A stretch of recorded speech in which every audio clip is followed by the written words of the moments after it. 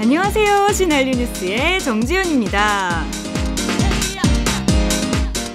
세계 속에 불고 있는 두 번째 대한민국 열풍. 오늘은 우리나라의 어떤 모습이 주목을 받았을까요? 오늘 소개해드릴 한류 뉴스는 2016 한국 인도네시아 영화제입니다.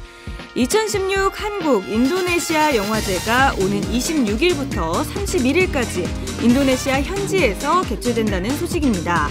한국 인도네시아 영화제는 주 인도네시아 한국대사관이 주최하고 주 인도네시아 한국문화원과 CGV 블리츠가 주관하는 행사로 인도네시아의 10월 한국문화의 달을 맞아 열리는 뜻깊은 행사입니다. 이 영화 축제는 2013년 론칭 이후 매년 평균 70% 이상의 좌석 점유율을 기록하며 인도네시아 내 한류 열풍을 주도하고 있었다고 하는데요.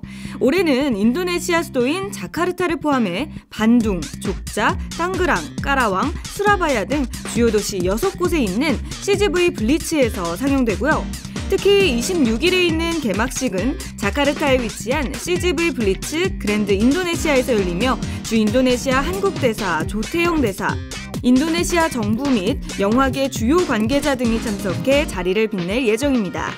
올해는 개막작 밀정을 비롯해 부산행, 곡성, 인천 상륙작전, 공이 김선달, 히말라야 등 13편의 최신 한국 영화가 상영되고요.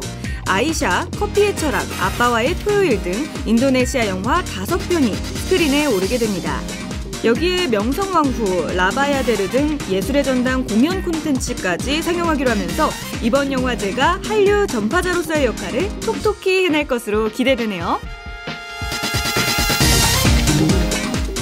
더욱더 다양한 콘텐츠로 세계 구석구석으로의 확산을 꿈꾸는 신한류, 신한류 뉴스에서 대한민국을 응원할게요.